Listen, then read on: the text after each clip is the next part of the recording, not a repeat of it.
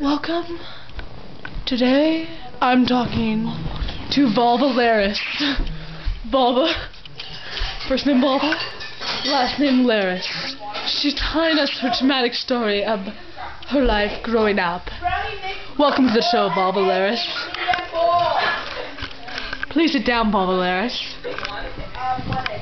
Baba wants Larry.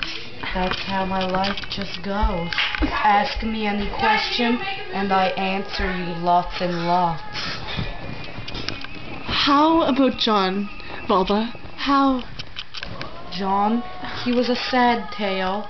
Me and John were sexually intimate with each other, and I loved him very much. But then, when I killed him with these tongs and pushed him on the railway, he got smushed and never came back, and now he's dead. That's horrible, Volva. Now, Volva, can you tell me about your mother? My mother. My mother is my best friend. We do everything together. We go to chess night. We we paint my little sister's body parts. And and I brush her hair. She's bald though, but she gets sad, so I pretend to brush her hair. That's sad, Baba. Um, um, I heard you were currently, um, seeing someone. Can you tell me about him? Where do I begin, Jerry?